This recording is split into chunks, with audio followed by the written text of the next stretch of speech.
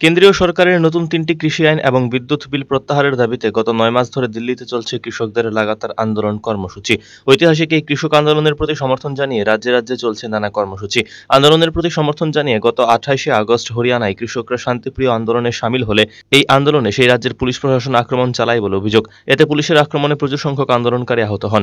শুধু তাই নয়, পুলিশের আক্রমণে সুশীল কাজল নামে এক কৃষক নেতা শহীদের মৃত্যুবরণ করেন। হরিয়ানা সরকারের পুলিশের এই ধরনের আক্রমণের ঘটনার নিন্দা জানিয়ে বুধবার গোটা দেশ জুড়ে আন্দোলনে নিহত সুশীল কাজলের স্মৃতির প্রতি শ্রদ্ধা জানাতে শহীদ দিবস পালন করে কৃষক সংগঠনগুলির যুক্ত মঞ্চ। দেশের বিভিন্ন রাজ্যের সাথে সঙ্গতি রেখে এদিন রাজ্যেও শহীদ দিবস পালন করল অল ইন্ডিয়া কিষাণ খ্যাত মজুর সংগঠন।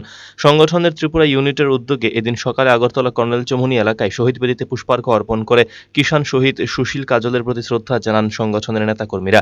এদিনের এই শহীদান দিবস থেকে ফের আরও একবার সংগঠনের কর্মীরা দাবি তুললেন তিনটি কৃষি আইন ও বিদ্যুৎ বিল প্রত্যাহারের। সংক্ষিপ্ত পরিসরে আয়োজিত এই অনুষ্ঠানে বক্তব্য রাখতে গিয়ে সংগঠনের রাজ্য ইউনিটের আহ্বায়ক সুব্রত চক্রবর্তী হরিয়ানা পুলিশের ফেসিস্ট আক্রমণের নিন্দা জানিয়ে দুই পুলিশ আধিকারিকের দৃষ্টান্তমূলক শাস্তি এবং আহত ও নিহতদের পরিবারকে উপযুক্ত ক্ষতিপূরণের দাবি জানান।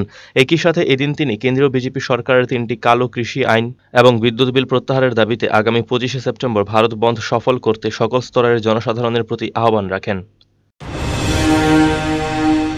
পুলিশি যে অত্যাচার সেদিন বর্বরতা সেদিন দেখা গিয়েছিল সেই আক্রমণের পরিপ্রেক্ষিতে দেখা গেছে যে শয়ে শয়ে কৃষক সেদিন রক্তাক্ত হয়েছে, মাথা ফেটেছে, হাত ভেঙেছে, অনেকে হাসপাতালে গেছে রক্তাক্ত হয়ে এবং সেই লাঠি চালনায় একজন কৃষক প্রাণ দিয়েছে সেই কৃষকই, কৃষকের, কৃষক নেতা এই সুশীল কাজলের আজকে আমরা শহীদ বেদি স্থাপন করেছি।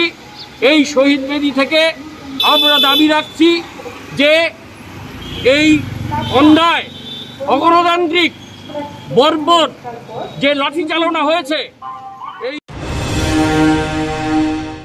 Bureau report, search TNN.